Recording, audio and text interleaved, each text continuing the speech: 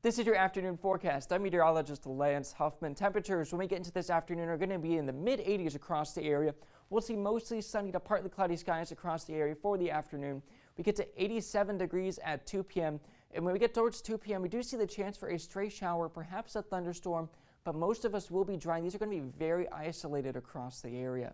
With that 87 degrees at 2, we go to 89 degrees at 4 p.m., keeping these mostly sunny to partly cloudy skies across the area. And our high temperature for the day is going to be 90 degrees for Fort Wayne.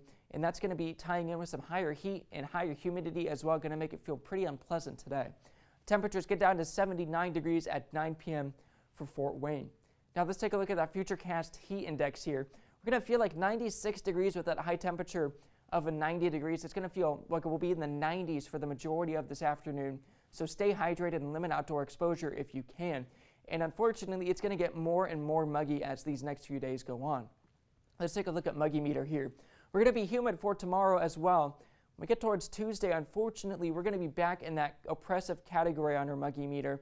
But the good news, if there is good news here, is going to, we're going to be in tropical on Wednesday and then back to humid on Thursday. And that oppressive category on Tuesday is going to tie into some very unpleasant temperatures. Let's take a look at the next three days here. 93 degrees on Monday for that high temperature. It's going to feel like 97 degrees, but also with it being mostly sunny on Monday, that sunlight can also make it feel a bit more hot outside. So still definitely want to limit your outdoor exposure. Definitely have the AC on at home or in your car and don't have anyone inside your car when it's turned off or really alone. 94 degrees is going to be the high temperature for Tuesday. With that oppressive humidity, it is going to make it feel like we will be at around 105, maybe higher. So we definitely will keep you posted on that. We could see an advisory, maybe a watch or a warning issue, so we'll definitely keep you posted on that. Let's take a look at the exclusive 10-day forecast here.